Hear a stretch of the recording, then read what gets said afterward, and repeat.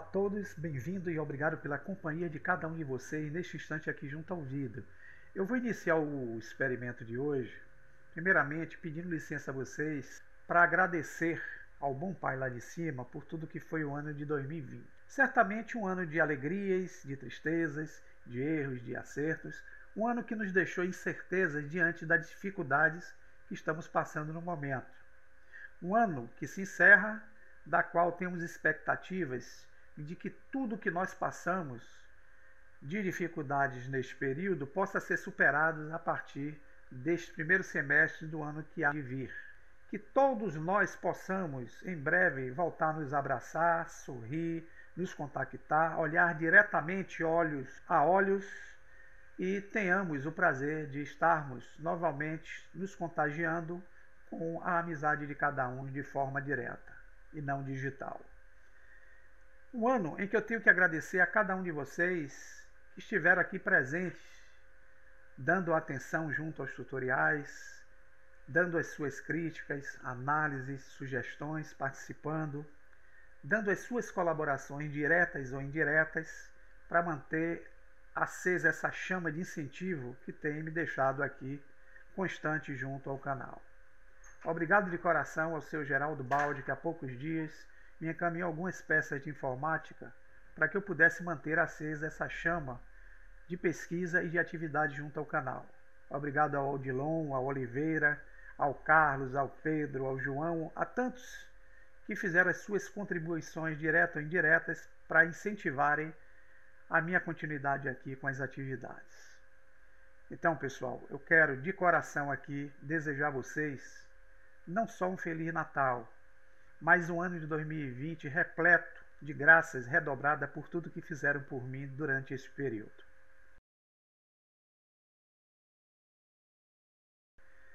Hoje eu quero falar a respeito de uma técnica, que é a técnica Read Body, que são os corpos rígidos, do qual nós vamos criar aqui algumas animações externas para contribuir nesse movimento dos corpos rígidos numa animação. Para você que ainda não tem um aprofundamento grande sobre corpos rígidos, esse tutorial vai ser interessante para você entender certos recursos que a gente pode utilizar para interferir nos nossos experimentos com animação. Vamos então começar aqui o nosso vídeo de hoje. Mas eu vou começar com a versão 2.91. Pode ser que se você tenha uma versão anterior a esta, alguns ajustes que eu faço aqui não estejam em conformidade com a sua versão. Então fique atentos aqui durante as minhas orientações no experimento. Eu vou iniciar selecionando a câmera e a lâmpada e vou excluí-los ou ocultá-los usando a tecla H. Nós vamos começar o nosso experimento utilizando essa caixa aqui que é o nosso box. Eu vou deslocá-lo para cima da superfície imaginária. G, Z1. Vou ativar o Move. Vou trazê-lo para cá. Eu vou jogar nesse objeto o recurso físico Read Body, que é o corpo rígido. Então eu vou vir aqui na aba de propriedades, clicar em físicas e vou ativar o Read Body.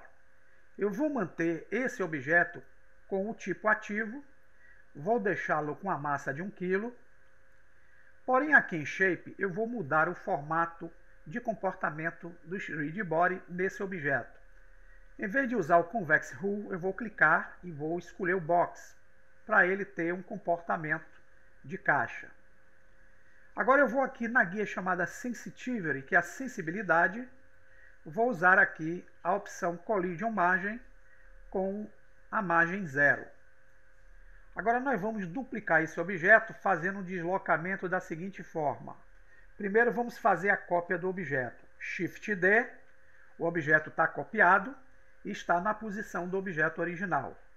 Vou aproveitar e digitar Y2.2.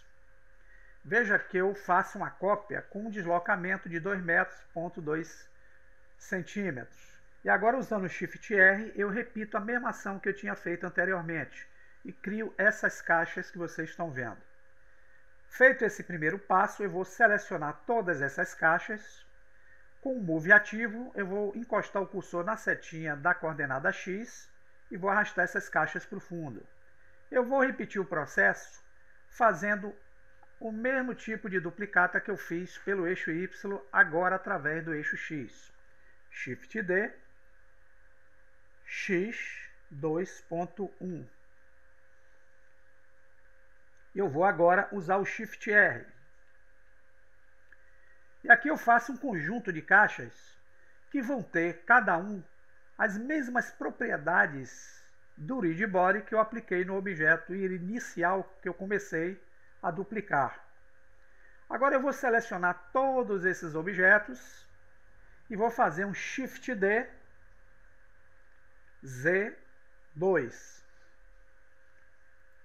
Para repetir, eu vou usar o scroll, vou usar Shift R, R, R, R. Eu faço um volume como se fossem várias caixas com o recurso read body. Então, se eu der o play, todas essas caixas vão cair. Essa é a animação física já gerada pelo read body. Vocês vão ver que aqui na timeline vai surgir uma linha que é o cache realizado dessa animação aqui de forma automática pelo programa. Para poder implementar o nosso entendimento, eu vou adicionar na área uma mesh plane. Vou usar um S de escala para aumentar, aqui vai ser o chão na nossa experiência. E para esse objeto plano, pessoal, nós vamos também aplicar um read body passivo. Por quê? Porque ele vai ser um obstáculo dentro da nossa animação. Então eu venho em físicas, read body, o tipo eu vou ter que mudar, ele vai ser o tipo passivo. Porém, em shape eu vou ter que alterar também de convex rule para o modo mesh. Dando player, o comportamento é que as caixas vão se mexer. Por quê? Porque existe uma margem aqui nesse objeto de baixo que está fazendo com que ele impulsione essas caixas com essa animação que nós realizamos. Então, para melhorar, nós vamos voltar aqui no Sensitivity e vamos deixar a margem zero. Vamos ver se melhorou. Olha que as caixas agora não estão mexendo mais. Essas caixas, elas têm indiretamente ou diretamente uma força gravitacional se eu seleciono essa caixa daqui, puxo para baixo, dou play, veja que ela vai cair. Porque existe uma força gravitacional. Mas para a gente utilizar recursos read body ou ajustar as condições físicas, nós temos um ícone aqui de propriedades que é importante vocês entenderem, que é o Scene Properties. É aqui que nós temos uma guia chamada Read Body World, que é o mundo Read Body, tá? Tudo que a gente fizer com o Readbody pode ser ajustado através dessa guia. Ele tem aqui uma aba de configurações. Nessa aba, nós temos esse ajuste chamado Speed. Veja que eu estou usando a velocidade de 1 para essa caixa cair. Eu quero, na verdade, aumentar essa velocidade. Eu vou colocar essa velocidade como 6. Olha o que é que acontece. O objeto vai cair com mais rapidez. Então, aqui a gente controla a velocidade desse efeito read body sobre o objeto. Se eu usar aqui, por exemplo, 0.2, quando eu der o player, veja que o read body aqui ó, vai cair de forma bem suave, como se fosse câmara lenta no processo. Outro fator que pode influenciar também aqui, nessa linha de cache, é abrindo a guia cache aqui, vocês vão ver que eu estou usando aqui uma simulação que começa do frame 1 até o frame 250. Se eu quiser gerar a prévia do efeito read body, eu posso usar a opção cache para fazer o bake da simulação. Vamos fazer o seguinte, eu vou usar aqui a velocidade normal como 1, alterado eu vou voltar, vou dar o play novamente, o objeto cai com mais rapidez. Mas, notem que aqui eu tenho uma guia também chamada Field Ways, que são campos de força ele tem o gravity totalmente em 1. Então, se eu zerar essa gravidade e voltar à ação, olha o que, é que vai acontecer. O objeto não vai cair, porque eu tirei a gravidade dos ajustes da configuração do read. Se eu dou a gravidade, der o play, o objeto passa a cair, tá vendo? Ah, por que, que esses objetos não estão caindo? Não estão caindo, pessoal, porque todos esses objetos eles estão presos a esse objeto aqui, ó, que é o objeto com a condição de ser um obstáculo durante a ação. Então, eu vou dar o Ctrl Z para voltar o nosso cubo, eu vou fechar aqui essa guia.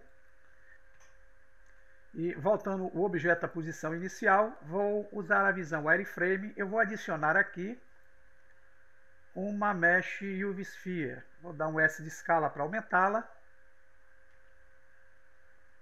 Vou trazer para cá para cima, deixá-la aqui no meio e vou arrastar aqui para a direita. Vamos voltar à vista sólida. Então temos aqui uma esfera, tá? E eu quero aqui gerar uma animação para que essa esfera, a partir do frame 30, ela se desloque e colida com essas caixas. Então eu posso fazer uma animação na timeline. Como? Eu uso aqui o frame 30, a esfera nessa posição, eu vou usar aqui a tecla I e vou adicionar uma chave location. Chave adicionada. Eu quero que até o frame 70 essa esfera atravesse essas caixas dessa forma. Aqui eu vou reposicionar usando a tecla I. Se eu fizer a animação, vocês vão ver aqui, na verdade, os objetos com o read body e a esfera atravessando a malha. Por que, que não houve impacto? Porque não atribuí a esse objeto o efeito read body. Então eu teria que vir aqui e aplicar nele também ó, o read body. Vou mantê-lo como ativo, porém eu vou criar para ele uma massa maior, já que ele vai atritar com essas caixas, eu vou deixá-lo aqui com a massa de 35 e eu quero que ele tenha um formato shape usando o recurso sphere. Dando play, o objeto vai cair. Ô Luciano, mas o objeto era para correr na direção das caixas. Por que, que não está correndo?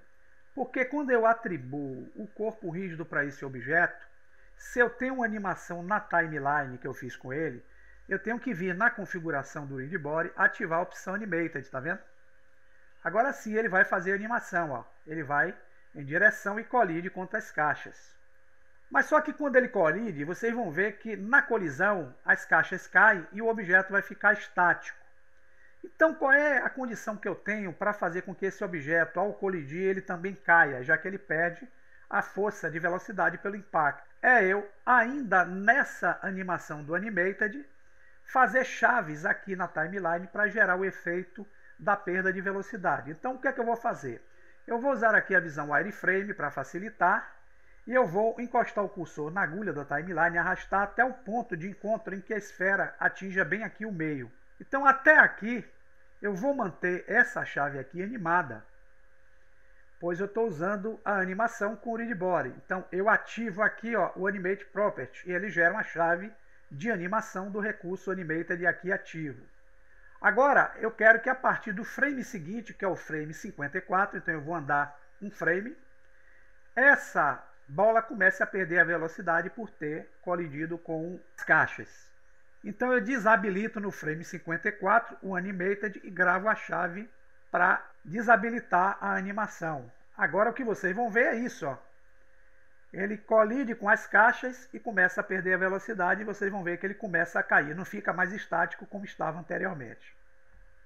Essa é uma das formas que nós temos para usar ações externas na animação Read Body. Só pessoal, que eu vou fazer é o seguinte, eu vou tirar o Read Body desse objeto, vou excluir, e vou excluir também a animação que eu fiz nele. Eu vou vir aqui na timeline, vou encostar o cursor sobre a timeline e vou usar a tecla X. Vai aparecer um menu para deletar os keyframes que eu fiz com essa esfera aqui de animação. Todos foram exclusos. Se eu der o player, nós não temos nenhuma ação aí. Então, o outro elemento que pode contribuir para fazer aqui funções externas junto ao efeito read é o elemento, que é o objeto chamado force field.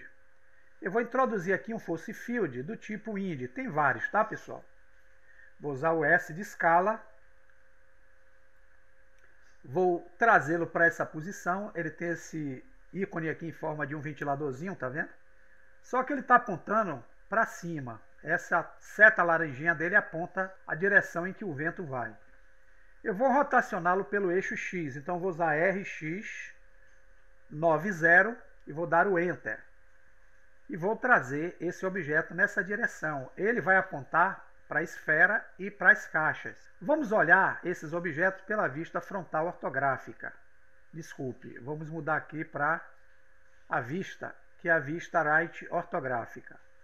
Eu vou arrastar a mãozinha e nós temos o que? Nós temos o ventilador que é o vento, o objeto, que nós vamos aplicar o read body, e temos as caixas.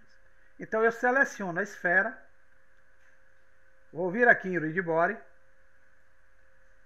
vou usar aqui a massa para o objeto de 45, vou mantê-lo aqui como ativo, já que ele vai ter ação, e vou mudar o shape dele para o formato Sphere. Veja que se eu der o player, a bola vai cair. Por quê? Porque esse objeto que está aqui, que é o force field do tipo IND, ele está agindo nas propriedades físicas com uma força aqui que é a opção strength, com fator 1. É uma força muito pequena. Veja que se eu dou aqui 100 mil e dou o Enter, eu consigo aumentar a força de 1 para 100 mil.